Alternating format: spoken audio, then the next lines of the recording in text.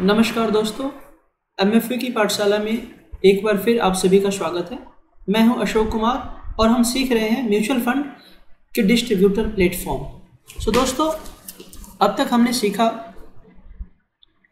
कैसे एमएफयू का हम साइन अप करें। साइन अप के लिए हमने बताया था, आपके पास दो ऑप्शन है ऑनलाइन एंड ऑफलाइन जिसका लिंक मैंने पहले अपने वीडियोज़ में दे दे चुका हूँ और आपको बता चुका हूँ। अगर आपने नहीं देखा है या आप फ्रेशर हैं, नए हैं बिल्कुल तो आप पहले वाले वीडियो पे जाइए, उससे आपको बहुत सारी इन्फॉर्मेशंस मिल जाएगी। और हम आज आगे बढ़ते हैं। आपने मेरी उम्मीद के अकॉर्डिंग साइन अप कर लिया होगा और आपके पास आपका यूज़र आईडी और पासवर्ड आ गया होगा। यूज़र आईडी पासवर्ड आने के बाद आपको सबसे पहले MFU की वेबसाइट पर जाना है एम ऑनलाइन डॉट कॉम और वहाँ पर अपने पासवर्ड को रीसेट कर लेना है, आपको अपना पासवर्ड बना लेना है। एक बार जब आप पासवर्ड बना लेंगे, उसके बाद से फिर हमारा फ़र्स्ट स्टेप आ जाता है कि हम आगे काम कैसे करें। दोस्त, म्यूचुअल फंड्स में जब हम काम करने जाते हैं तो वहाँ पर जब भी हमारी फ़र्स्ट मीटिंग होती है क्लाइंट के साथ तो हम उससे अपना फॉर्म भरते हैं, उसका कोई भी स्टार्टअप के लिए एक एसआईपी या कॉमन अप्लीकेशंस लेते हैं और काम स्टार्ट करते हैं।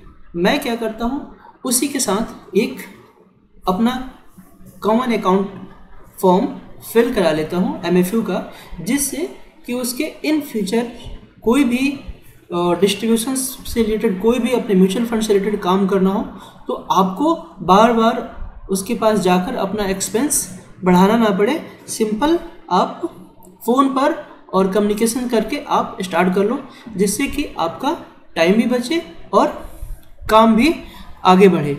सो so, दोस्तों मैं आपको ले चलता हूँ एम की वेबसाइट पर जहाँ से हमें आगे का काम करना है। तो सबसे पहले हम चलते हैं वेब पेज और वेब पेज हमें इंटरनेट एक्सप्लोरर का ही खोलना है क्योंकि एम इंटरनेट एक्सप्लोर पे सबसे अच्छे तरीके से सपोर्ट करता है। सो so, दोस्त हम चलते हैं एम एफ़ यू पहले हम खोल लेते हैं एम एफ़ यू इंडिया की वेबसाइट जहाँ से हमें आगे क्या करना है थोड़ा सा एक डिटेल्स आपको मिलेगा। ये एम एफ़ यू की वेबसाइट है। अब, क्योंकि हमने अपना लॉग लॉगिन आईडी क्रिएट कर लिया है तो आगे बढ़ने से पहले हमें ये देखना है कि हमें करना कैसे है। सबसे पहले हमें कैन अकाउंट जनरेट करना है। तो कैन अकाउंट जनरेट करने के लिए हमारे पास दो ऑप्शन है। एक ऑनलाइन ऑप्शन है और दूसरा ऑफलाइन ऑप्शन है। क्योंकि दोस्त, मैं क्लाइंट्स की मीटिंग करता हूँ, उससे बातें करता हूँ और फिर उसको उसी समय कैन का प्रपोज कर देता हूँ ताकि इन फ्यूचर्स में आने वाली उसकी दिक्कतें और आपकी भी दिक्कतें समाप्त हो जाए और आप इजीली कम्युनिकेट कर सके। इसलिए मैं उसी समय कैन का फॉर्म फिलअप करवा लेता हूँ साइन अप करवा लेता हूँ। तो कैन ओपन करने के लिए मैं आज फ़िज़िकल की बात कर रहा हूँ। ऑनलाइन का मैं नेक्स्ट वीडियो पे डिस्कस करेंगे।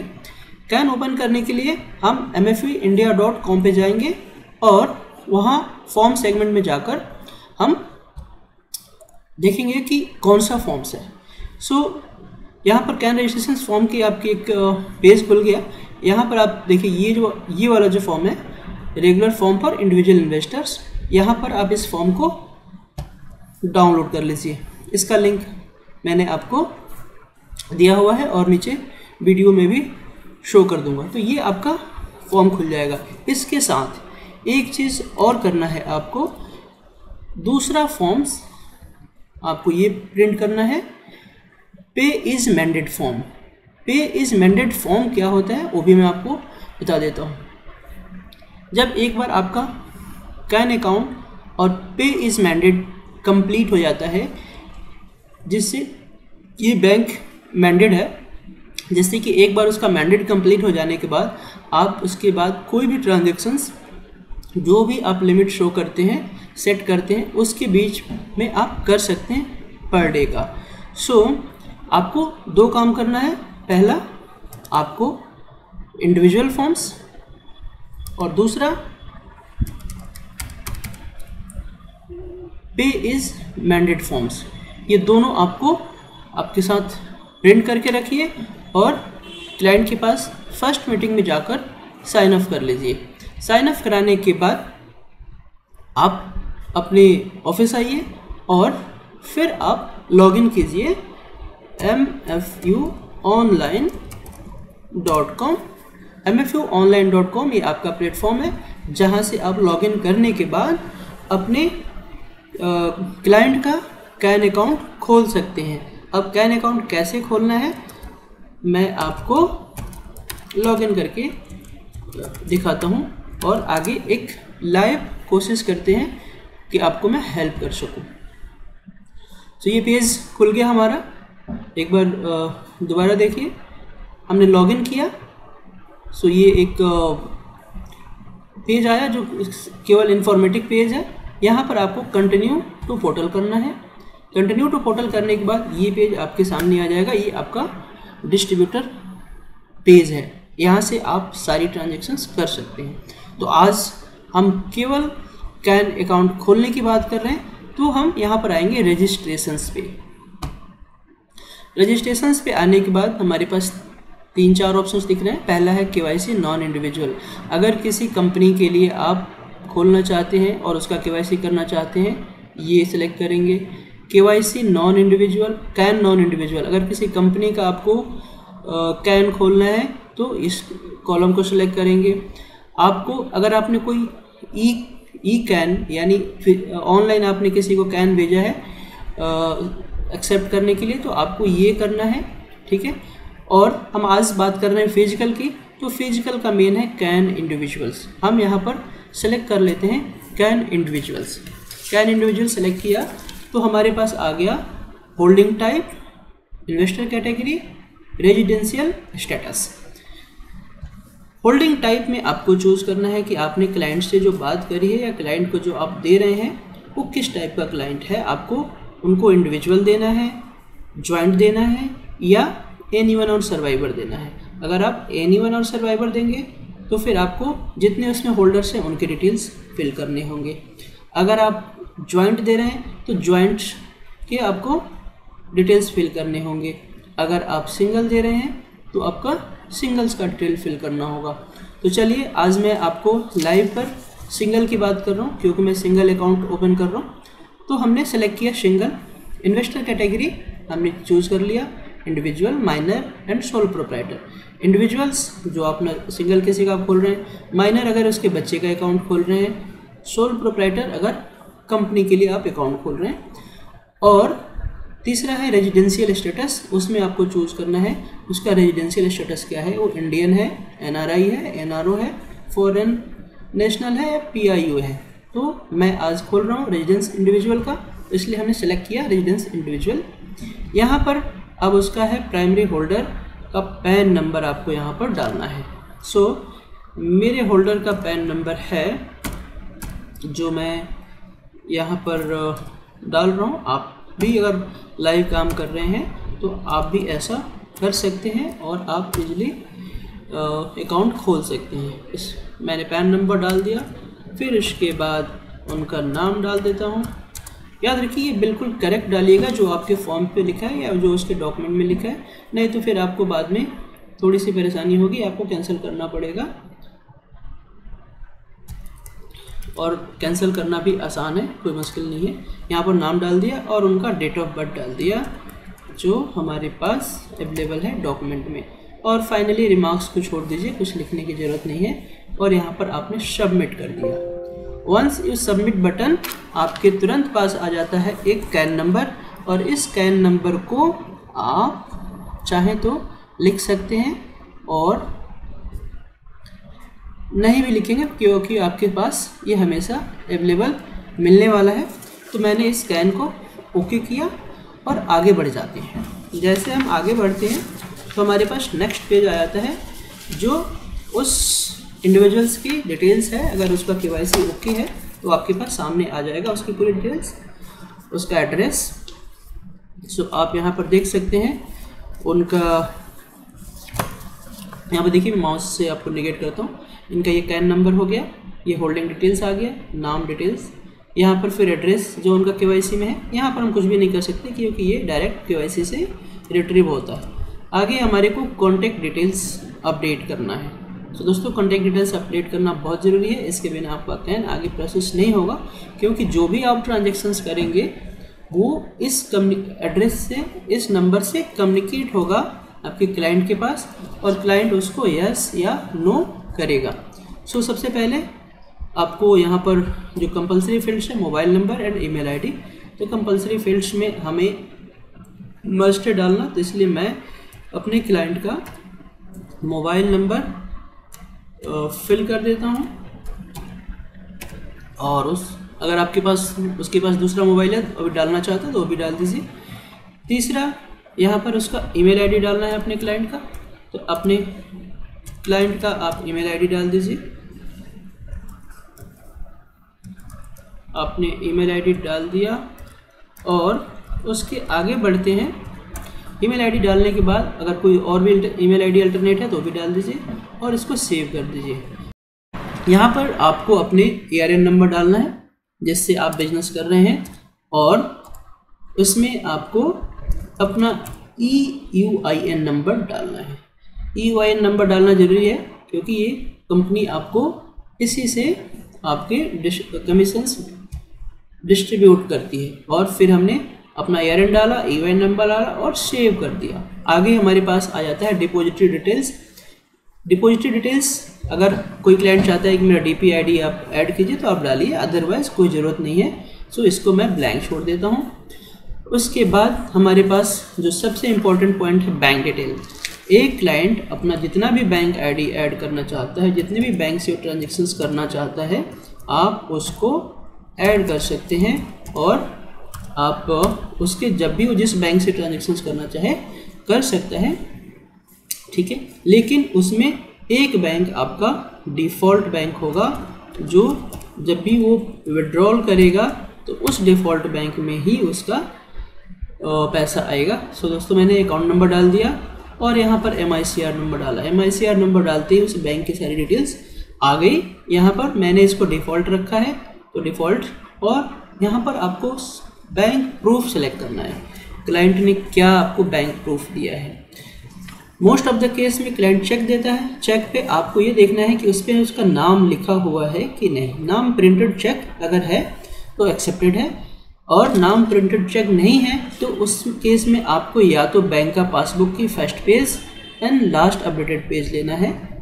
अगर वो नहीं है तो आपका बैंक अकाउंट स्टेटमेंट लेना है, जिसमें उसकी डिटेल्स आ रही हो। मेरे क्लाइंट ने बैंक स्टेटमेंट दिया है तो मैंने बैंक स्टेटमेंट सेलेक्ट कर लिया और इसको मैंने यहाँ पर ऐड कर दिया। बैंक ऐड करते ही हमारे पास आ गया रिकॉर्ड सेट सक्सेसफुली अब हम आगे बढ़ते हैं और यहाँ पर आता है नॉमनी डिटेल्स तो अगर आप नॉमनी नहीं डालना चाहते हैं तो यहाँ पर क्लिक कर दीजिए और डालना चाहते हैं तो ऐड कीजिए। मेरे क्लाइंट ने नॉमनी को डालने के लिए बोला है मोस्ट ऑफ़ द केस आपको नॉमनी डालना ही चाहिए। तो यहाँ पर आप नॉमनी डाल देते हैं और मैंने भी अपने क्लाइंट का नॉमनी यहाँ पर फिल कर दिया। रिलेशंस आपको दिखाना है रिलेशंस आपने दिखा दिया। और परसेंटेज क्या रखना है, आप ऐड कर दीजिए और सेव इसको क्लोज कर दीजिए क्लोज करते ही ये आपके पास डिटेल्स आ गया नॉमनी का राइट अब आपके पास एडिशनल के डिटेल्स के डिटेल्स को आपको अपलोड करना है। उसकी एनुअल इनकम क्या है? एनुअल इनकम आपने डाल दिया सोर्स ऑफ़ वेल्थ कहाँ से कमा रहा है पैसा? उसके बाद type of address given at के आर ये इंपॉर्टेंट है। जो आपके डॉक्यूमेंट्स में ऑलरेडी आपने फ़िज़िकल में भरा हुआ है, इसलिए आप इसको ज़रूर सेलेक्ट कीजिए रेजिडेंशियल और पी पी नॉट एप्लीकेबल ये कर कर आप सेव कर दीजिए। सेव करने के बाद ये अपडेटेड हो गया। अब आपका चौथा क्वेश्चन आता है प्लेस ऑफ़ बर्थ तो प्लेस ऑफ़ बर्थ आपको जहाँ का भी है, आप अपने क्लाइंट का डालिए। यहाँ पर आपको कंट्री फिर से सिटीजनशिप फिर नेशनलिटी और tax residency other than India अगर यस है तो यस कीजिए, फिर यस करेंगे तो आपको पूरी डिटेल्स भरनी पड़ेगी। अगर नो है तो नो कीजिए और सेव कर दीजिए। मेरे क्लाइंट में नो है, इसलिए मैंने नो किया और सेव कर दिया। आगे बढ़ते हैं। इसके बाद यहाँ पर है common details alert mode email से अलर्ट चाहते हैं एसएमएस से। तो आपने सेलेक्ट बोथ रखिए। उसके बाद सेटलमेंट डिस्पैच मोड आप बोध कर दीजिए और यहाँ पर सेव कर दीजिए। आपने ये आपका common details common account number common details saved हो गया। अब आपके पास नीचे आता है सबमिट टू पॉज अब सबमिट टू पॉज करेंगे तो आपके पास ये आ जाएगा scanned image not attached to the CAN तो आप इसको ओके कीजिए। मतलब हमने स्कैन नहीं किया है डॉक्यूमेंट का। सो सबसे पहले डॉक्यूमेंट हम स्कैन करते हैं। इसको स्कैन करने के दो तरीके हैं। पहला, आप स्कैन करके टी फॉर्मेट में अपने डेस्कटॉप पे रख लीजिए या डायरेक्ट भी आप स्कैन करते हैं। तो चलिए हम मेनू में जाते हैं। ये आप मेनू ऑप्शन देख रहे हैं। यहाँ पर क्लिक कीजिए और यहाँ पर जो इस मेनू ऑप्शंस में स्कैन है स्कैन पे क्लिक कर देते हैं। स्कैन पे क्लिक करने के बाद हमारे पास आ जाता है स्कैन ट्रांजेक्शन्स अगर आप ट्रांजेक्शन्स कोई कर रहे हैं तो यहाँ से स्कैन होगा। ट्रांजेक्शन्स स्कैन बुक आपने जितने भी ट्रांजेक्शन्स किए हुए हैं स्कैन करके वो आपको यहाँ दिखेगा। अब हम क्योंकि फ़िज़िकल रजिस्ट्रेशन कर रहे हैं तो स्कैन रजिस्ट्रेशन पे जाते हैं। दोस्तों, आपको ये थोड़ा सा प्रोसेस लेंदी लगता होगा, लेकिन ये बहुत ही आसान है। एक बार जब आप कर लेंगे तो इसके बाद आपके क्लाइंट से सालों सालों का रिलेशंस बहुत ही आसान हो जाएगा और आप इजीली कर पाएँगे। सो हम स्कैन रजिस्ट्रेशन पे क्लिक करते हैं और मैं इसके साथ स्कैन करता हूँ आपके साथ लाइव अपने स्कैनर से सो यहाँ पर हम पेजेस अभी कुछ नहीं है। हमें क्या करना है स्कैन हम कैन इंडिविजुअल्स ले रहे हैं। अगर के वाई सी ले रहे हैं, नाम तो आपको सेलेक्ट करना है तो कैन इंडिविजुअल्स लिया स्कैन एंड अपलोड अब यहाँ पर हमारे पास बना हुआ है स्कैनर फिर यहाँ पर डेस्क व्यू फिर यहाँ पर सेव टू डेस्क और यहाँ लोड फ्रॉम डिस्क अगर हमने पहले से स्कैन किया हुआ है तो यहाँ पर क्लिक करके लोड फ्रॉम डिस्क कर लेंगे। जैसे मैं यहाँ पे क्लिक करूँगा तो हमारे पास आ जाएगा, हमें कहाँ से लोड करना है, ठीक है? अब अगर आप ये है स्कैन तो हम स्कैन करते हैं। चलिए दोस्तों तो हमने स्कैन को सिलेक्ट किया।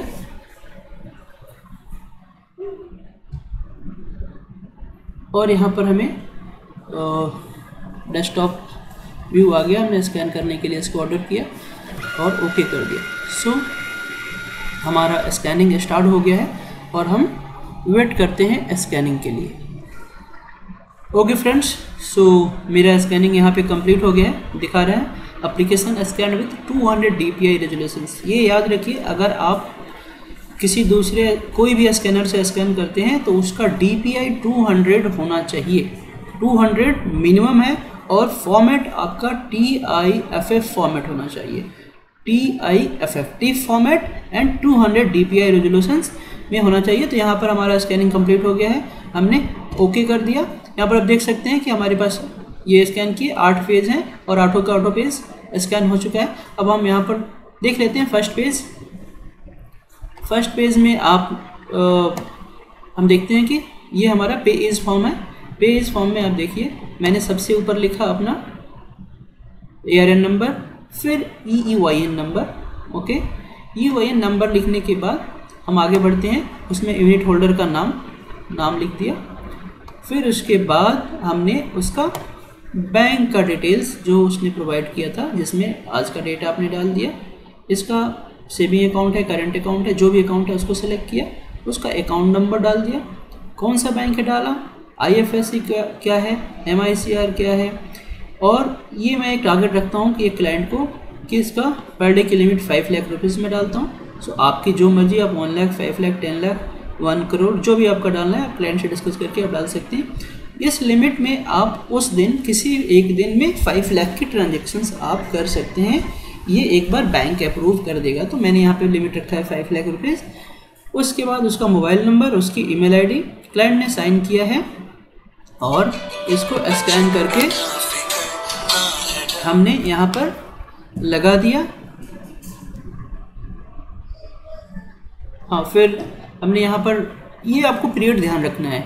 जिस डेट से स्टार्ट किया है, वो कर लीजिए और नीचे अनटिल कैंसिल पे सिलेक्ट कीजिए। यहाँ पर कोई डेट पर्टिकुलर मत रखिए क्योंकि अनटिल कैंसिल करेंगे तो ये तब तक अप्लीकेबल होगा जब तक क्लाइंट इस अकाउंट को बंद नहीं करता या इसको पेज को कैंसिल नहीं करता। तो हमने वो कंप्लीट कर लिया।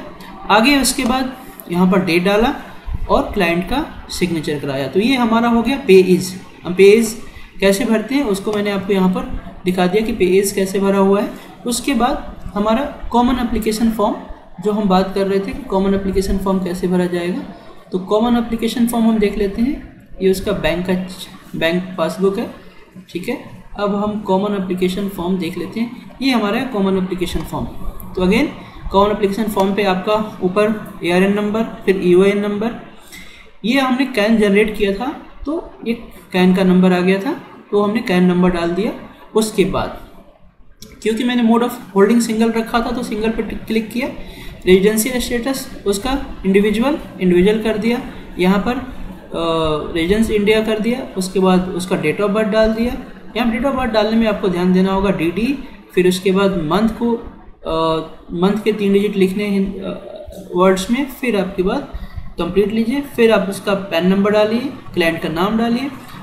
अगर क्लाइंट माइनर में करना चाहता है तो फिर आपको आ, ये guardians details second holder third holder जो आप फॉर्म देखेंगे नॉर्मल आपके फॉर्म्स हैं जो ए के फॉर्म्स होते हैं उसका एक डिटेल्स है।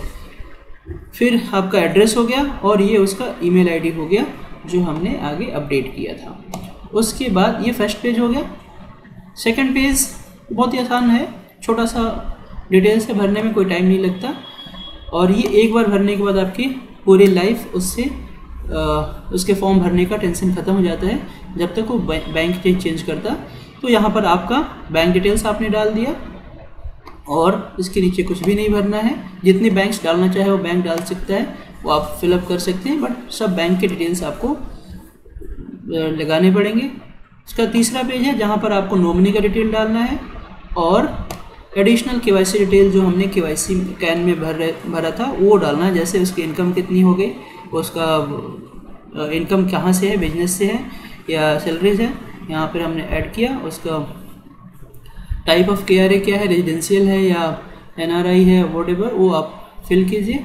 और ये हो गया फॉर्म कंप्लीट फोर्थ पेज पे हम उसका आ, देख लेते हैं क्या है. फोर्थ पेज जो सबसे लास्ट पेज है और इसमें उस क्लाइंट का हमें देखना है कि प्लेस ऑफ़ बर्थ कहाँ है. प्लेस ऑफ़ बर्थ डाल दिया. Country of birth country of citizenship country of nationality और अगर वो दूसरे कंट्री का भी सिटीजनशिप रखता है तो यस या नो पे आपको टिक लगाना है. अगर यस करते हैं तो आपको डिटेल डालना है. नो तो कुछ भी नहीं करना है और लास्ट में आपको क्लाइंट का साइन लेना है, जो क्लाइंट ने साइन कर दिया। अब ये पेज आपके पास अवेलेबल हो गया है। अब हमने ये सारा चीज़ स्कैन कर लिया और हमारे सिस्टम पे आ गया। ये स्कैन होने के बाद अब आपको ये बॉटम देखिए, जिस पे लिखा हुआ है अपलोड टू सर्वर हम यहाँ पर क्लिक करेंगे और अपलोड टू सर्वर यहाँ पर रिमार्क्स में आप उसका नाम लिख दीजिए या कुछ भी लिख दीजिए जिससे आपको याद रहे। तो मैंने लिख दिया और ओके कर दिया। ये अब आपने जो कैन फिलअप किया था, उसका इमेज यहाँ पर सर्वर पे अपलोड हो रहा है। दोस्तों, स्कैनिंग कंप्लीट हो गया और सिस्टम पे सेव हो गया है। सो, मैं अब चलता हूँ दोबारा मेन मेनू में, होम पर। और होम पर देखते हैं यहाँ पर आपका कैन थ्री। थ्री कैन आपके पास मतलब मेरे सिस्टम में पेंडिंग दिख रहा है, जिसको अपलोड करना है। सो मैं यहाँ सेलेक्ट कर लेता हूँ। थ्री पे क्लिक करता हूँ तो हमारे पास ये आ जाते हैं डिटेल्स सो दोस्त, हम आज कैन बना रहे थे रविंद्र कुमार का। ये रविंद्र कुमार का स्टेटस यहाँ पर दिख रहा है स्टेटस पेंडिंग और यहाँ पर देखिए, तीन ऑप्शंस है। ये आपके पास एक हिस्ट्री है, जो आप डिटेल्स देख सकते हैं कि क्या क्या आपने फिलअप किया है। यहाँ पर आपको अटैच करने के लिए पूछ रहा है, यानी हमने जो फॉर्म स्कैन किया है उसको अटैच करना है। तो अटैच पे क्लिक किया। अटैच पे क्लिक करते हैं जो हमने फॉर्म स्कैन किया है, उसकी डिटेल्स यहाँ पर सामने आ जाता है। ये डिटेल्स और हमने जो रिमार्क्स में डाला था, ताकि हमें पता चले कि मैंने किसका किया है। तो इस अटैच के लिए इस इमेज रेफरेंस नंबर पे क्लिक कर लेते हैं। इमेज रेफरेंस नंबर पे क्लिक करते ही हमारे पास आ जाता है इमेज अटैच सक्सेसफुली ओके किया। ओके करते ही हमारे क्लाइंट का जो हमने डिटेल्स फिल किया है, वो दोबारा एक बार सामने आ जाता है। हम इसे, आप इसे वेरीफाई कर लीजिए कि जो डिटेल्स आपके पास है, वो एग्जैक्ट है। ये दोबारा एक वेरीफाई करने का मौका दे रहा है, क्योंकि इसके बाद सबमिट कर लेंगे तो आप इसको चेंज नहीं कर सकते। ये फिर आपको एमएफयू से ही चेंज करवाना पड़ेगा। वहाँ पर आपको मेल कम्युनिकेशन या बात करके कंप्लीट कराना पड़ेगा। ये कंप्लीट हो गया। और जो हमारा सबसे लास्ट बटन है submit to pause submit to pause किया तो यहाँ पर आ गया scan signature image not attach to the CAN मतलब जो हमने स्कैन किया है, वो इमेज इसके साथ अटैच नहीं हुआ है। ये इमेज अटैच नहीं हुआ है तो हमारे पास ऑप्शन है कई बार ऑटोमेटिक अटैच हो जाते हैं। जब आपका सिग्नेचर मैच हो जाता है तो इसमें सिग्नेचर आपके सिस्टम ने उठाया नहीं है। बार बार जो फेल का मैसेज आ रहा था तो इसलिए अब हमारे पास यहाँ पर देखिए एक ब्रैकेट बना हुआ है जिसको एक्सपेंड का वर्डिंग दिया हुआ है। तो यहाँ पर आप क्लिक कर लीजिए एक्सपेंड सो मैंने भी यहाँ पे क्लिक किया एक्सपेंड और जो हमारे स्कैन किए हुए डॉक्यूमेंट्स हैं, वो आपको सामने यहाँ पर दिखेंगे। तो हमें यहाँ पर जो ऑप्शन है एडिट करना है, क्योंकि हमें जो सिग्नेचर है सिग्नेचर को सिस्टम ने नहीं उठाया है। तो इसलिए हम सिग्नेचर को उठाएँगे, कैसे उठाएँगे, यहाँ पर हम देखते हैं। अब हमारे हमारे पास इसके सिग्नेचर्स जहाँ से भी आप उठाना चाहिए, मेरे पास फॉर्म फाइव में इसका सिग्नेचर फॉर्म सिक्स में।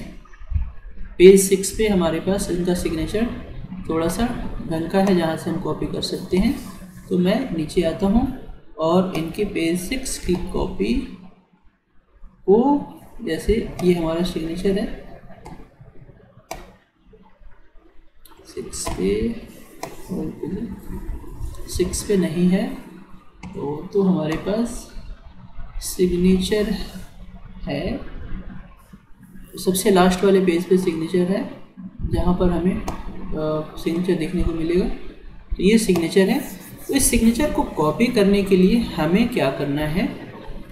आपके माउस को और कंट्रोल बटन को। माउस और कंट्रोल बटन एक साथ दबाइए। और इसको ऐसे करके कॉपी कर लीजिए ये कर लिया आपने और सबसे ऊपर जो आपका, यहाँ देखिए तीन बटन दिख रहा है क्रॉप सिग्नेचर यहाँ पर अपलोड सिग्नेचर और यहाँ पे क्लियर सिग्नेचर क्लियर सेलेक्ट अगर आपने सेलेक्ट किया है गलत हो रहा है तो क्लियर कर सकते हैं। यहाँ पे अपलोड करना है। तो हमने जो सिलेक्ट किया है उसको क्रॉप करना है। तो यहाँ पे क्रॉप साइन कर लेते हैं। जैसे ही आप क्रॉप साइन करेंगे तो आपका जो आपने सिग्नेचर किया है, वो यहाँ पर दिख जाएगा कि ये सिग्नेचर्स आपने क्रॉप किया है। अब इसको आप यहाँ पर अपलोड साइन कर दीजिए। अपलोड साइन करते ही ये क्रॉप सिग्नेचर अपलोडेड सक्सेसफुली का मैसेज आ गया। अब इसको ओके कर दीजिए और इसको बंद कर दीजिए। अब बंद करने के बाद यहाँ पर आपके पास सबसे लास्ट कॉलम पे चले जाइए। सबमिट टू पॉज और सबमिट टू पॉज कीजिए। आपका रिक्वेस्ट है वो सबमिट हो चुका है पॉज में। अब आपको कुछ भी नहीं करना है। आपने जो कैन के डॉक्यूमेंट्स आपके पास अपने कस्टमर से साइन करा के रखे थे, उसको एक अच्छे तरीके से एक फ़ाइल बनाइए और उसमें पंच कर दीजिए इनकेस कभी रिक्वायरमेंट आती है। तो ये आपका कैन अब जनरेट हो चुका है और ये सबमिट हो चुका है। आज क्योंकि संडे है तो ये कैन आज अप्रूव नहीं होगा तो ये मंडे को अप्रूव हो जाएगा। और मंडे के बाद आप इसमें कभी भी कोई भी ट्रांजेक्शन्स कर सकते हैं। अब हम देख लेते हैं उसके कैन का। सो so, हमने क्लिक किया और ये कैन शेट दिख रहा है सबमिट टू पॉज जैसे ही अप्रूव्ड होगा यहाँ पे लिखा आ जाएगा अप्रूव्ड और उसके बाद आप ये कैन नंबर जो है इस कैन नंबर से आप कोई भी ट्रांजेक्शन कर सकते हैं। सो so, दोस्तों मुझे आशा है कि आप एम एफ़ यू के डिस्ट्रीब्यूटर प्लेटफॉर्म का यूज़ करेंगे और अपने बिज़नेस को सही तरीके से फ्यूचर्स में ग्रोथ देंगे और आपके एक्सपेंसेस को कम करेंगे। सो इसी आशा के साथ आपका मैं एक बार फिर से स्वागत करता हूँ और कॉमन अकाउंट नंबर जनरेट करने में कोई भी आपको दिक्कतें आ रही हैं तो मेरे पर्सनल नंबर पर्सनल व्हाट्सएप पे पर्सनल टेलीग्राम पे आप मुझे पूछ सकते हैं, बात कर सकते हैं और इसी के साथ हम फिर आपको मिलते हैं दोबारा कैन की दूसरे प्लेटफॉर्म दूसरे ट्रांजेक्शन्स पे कि आगे कैसे करेंगे। तब तक आप वो देखते रहिए और कोई प्रॉब्लम्स आए तो मुझे ज़रूर लिखिए। Thanks you, thank you, thanks for watching.